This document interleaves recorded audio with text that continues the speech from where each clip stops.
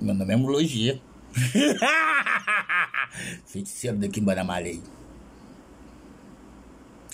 São poucos que levam a religião a sério.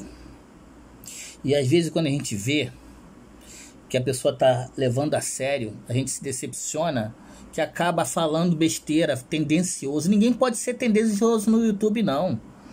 Você tem que dar valor ao que é Yorubá, você tem que dar valor ao que é Banto. Não existe esse negócio de puxar saco para um lado.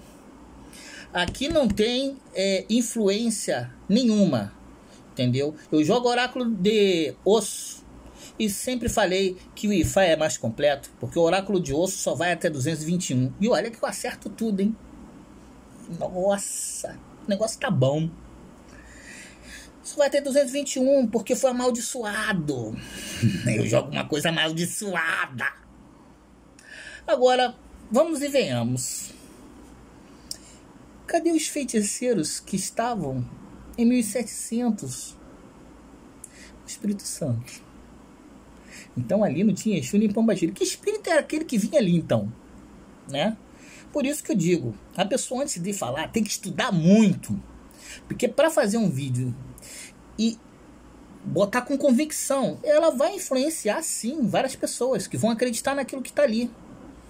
Outra coisa, revolta dos malês não tem nada a ver com religião. Não enfia muçulmano no meio da, da religião. Ele teve influência? Teve. Teve bastante. Mas a revolta dos malês não tem nada a ver com o início de culto a Exu e Pombagira. Ponto final.